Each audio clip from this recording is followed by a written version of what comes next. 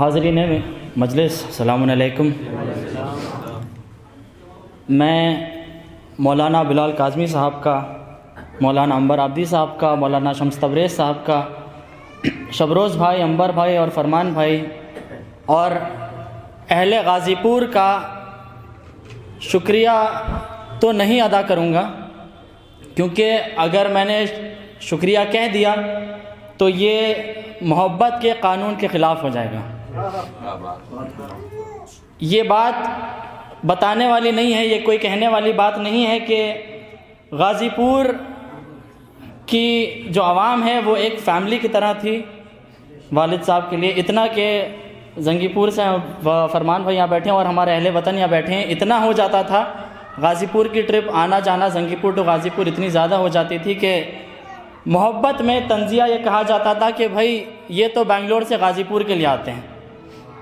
जंगीपुर में इतना कम, इतनी कम मोहलत मिल पाती थी कि ये कहा जाता था कि भाई ये तो गाज़ीपुर में मजलिस पढ़ने के लिए आया करते हैं। तो अब इससे एक और बात मैं आपके सामने अर्ज़ करना चाहूँगा कि हम भले जिस्मानी तौर पे हमारा पूरा खानवादा, भले जिस्मानी तौर पे बेंगलोर में रहते हैं या फिर यूएस में रहते हैं या फिर सिंगापुर में रहते हैं, मगर बारह मास रूहानी तौर से हम अपने वतन में रहते हैं।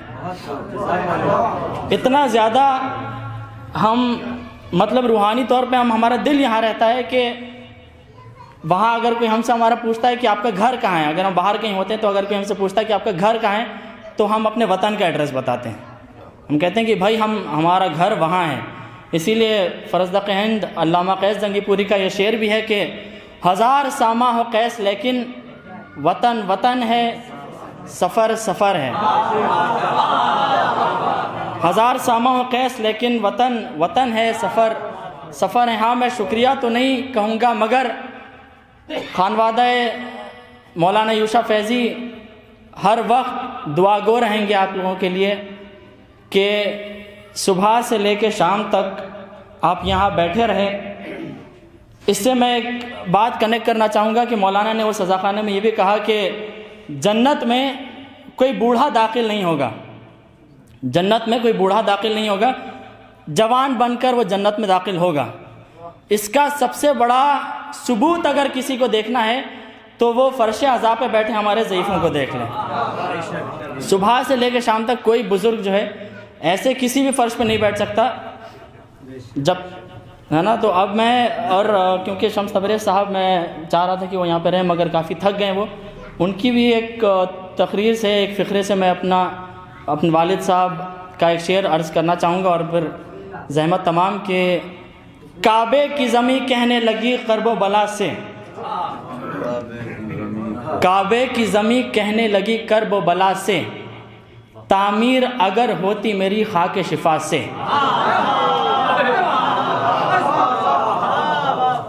काबे की ज़मी कहने लगी करब बला से।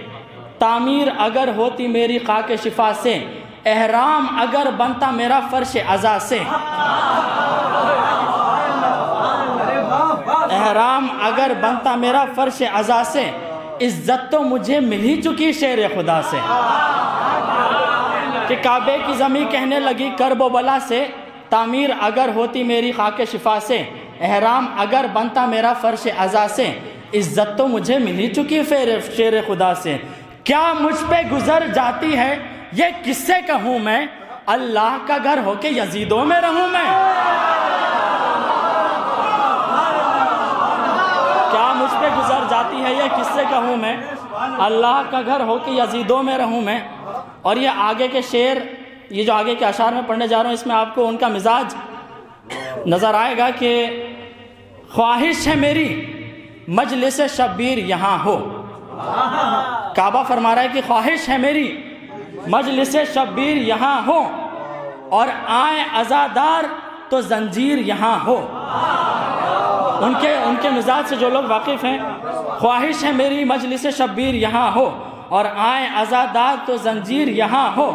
हल्का तो है, पर मातम शब्बीर यहाँ हो।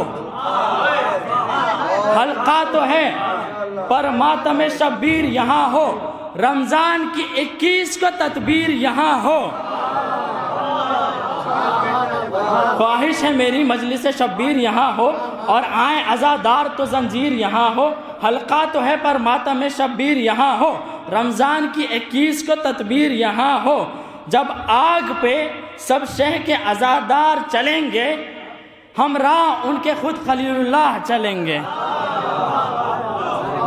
बस हसीना अजीज़ा ने ग्रामी मैं बहुत ज़्यादा दुआगो रहूँगा अहल गाज़ीपुर और जंगीपुर का। सलवाद बर मोहम्मद वाल मोहम्मद।